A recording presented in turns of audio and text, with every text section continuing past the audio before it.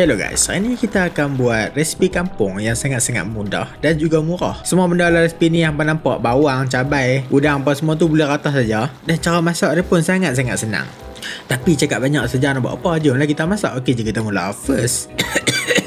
Weh, sorak, sorak.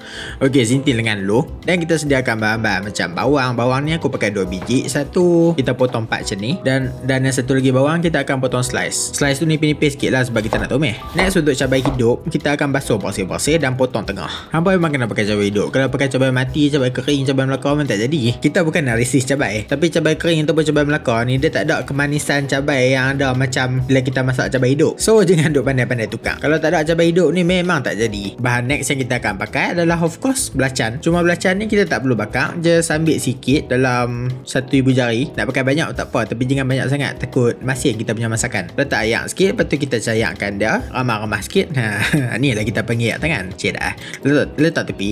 Lepas tu bolehlah kita start masak. Eh, of course kita akan perlukan sedikit minyak. Tapi sikit je jangan banyak sangat. Sebab kita punya masakan ni dia agak berair. Dia cayak dia tak pekat macam kuah kari apa. Sebab tu kita tak mau letak punya minyak sangat. Okay, clear? Ha, clear tu.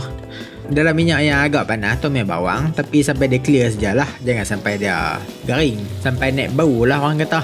Sampai bau tu dah sedap Baru kita masukkan kita punya bawang dipotong empat Tapi tu hampa nampak macam ada enam potong. Sebab bawang slice tu aku pakai setengah biji saja. Setengah biji lagi macam tak padas je simpan nanti eh. Next masukkan cabai yang kita dah belah tengah tadi Dan masukkan sekali udang geragau. Aku pun tak tahu orang panggil udang ni udang apa sebenarnya Udang kecil, udang atas aku pun tiba lah Masukkan kita punya ayak belacan dan renih dalam 10 minit. Kita nak bagi ayak udang tu meresap ke dalam laut. Nak bagi dia sedap sikit. Cakap pasal sedap, kita kena buat satu lagi ayak. Tadi kita buat ayak belacan kan. Ha, lepas ni kita akan buat ayak asam jawa. Cara dia, hampa ambil asam jawa ekstra ni dalam satu sudul. Lepas tu campurkan dia dengan ayak. Benda ni nampak je macam senang. Tapi movement hampa tu memang perlukan detail. Dia macam seni lah bila hampa mengacau 360 darjah dalam mangkuk tu. Dia akan menghasilkan anjakan paradigma dengan efisiensi maksimum. Cik dah. Saja buat teruk kacau ayak asam jawa pun. Masukkan ayak asam tu ke dalam payuk. Tapi tengok juga takut ayak terlebih. Yang aku buat ni ukuran dia memang dah perfect. Sajalah riak bukan selalu. At this point nampak punya makanan ni dah nak siap dah. Cuma apa kena bagi dia menggelegak saat dalam 5 minit. Sambil-sambil tu rasa sikit kok-kok kurang gula ke kurang garam ke boleh tambah. Selalunya aku akan tambah gula sikit sebab belacan dalam masakan tu dah masin. Tapi kalau dah tak cukup masin apa salahnya kan? So siap lah kita punya udang masak cabai belah. Resipi yang sangat-sangat simple Sangat-sangat mesra dompet dan sangat-sangat mesra marhain. Ni sedap ni makan nasi putih panas-panas. Dengan ikan goreng. Oh, ikan goreng. Sat, sat, sat, sat. Masuk cabai belah ni makan dengan ikan goreng memang air sedap tak sangka lah.